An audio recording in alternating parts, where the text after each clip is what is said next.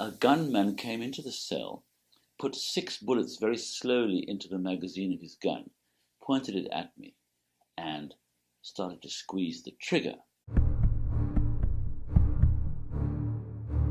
Now the rockets have been taken out of the vehicle. They're being placed here towards Israel, which is just a few hundred meters away, and they're about to fire. So we're going to get out as fast as possible. In 2010, I was in Gaza making a film about a militant Palestinian who'd been firing rockets at Israel but had changed his mind.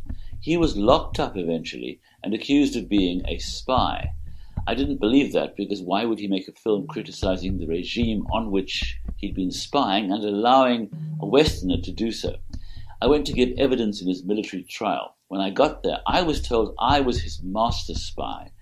I was arrested, I was handcuffed, I was taken to a cell, and then a, a gunman came into the cell, put six bullets very slowly into the magazine of his gun, pointed it at me, and started to squeeze the trigger.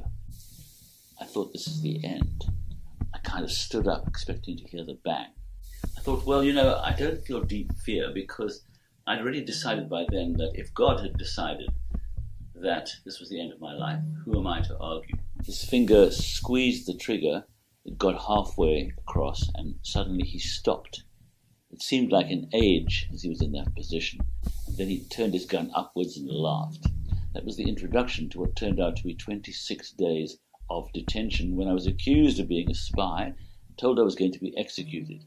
And twice I thought I was going to die, beyond the first incident I've just mentioned. I did believe I was going to die at some point during my imprisonment or quite soon, and I decided to make those last few days or hours that I had left at least in some way meaningful. So I tried to be decent even to the prison guards. Later, I was thrown into a, a much worse cell, very dark, very dingy, lots of mosquitoes in a so called hole in the ground, a toilet. Uh, but while I was in that cell, they threw a man, a prisoner, into it I was supposed to, as I say, be in isolation, so I was surprised he arrived. He had swollen hands and feet, and he looked in awful condition. And as he lay down on my thin mattress, which I allocated to him, he pulled out of a plastic bag three dates out of six that were in the bag, and gave me those three dates. That meant he gave me half of everything he owned in the world thought to myself at that point, you know, you'll find goodness in every dark corner of this world. And when I was, I think, miraculously released after 26 days, I made it my mission to try and save Muhammad, who was the man I'd been filming, and to save him from almost certain execution. And to our amazement, through a campaign, we managed to get him out of that prison, and he's still alive today. I have met him secretly. And both of us have learnt a great deal and I think become better people as a result of our trials and tribulations.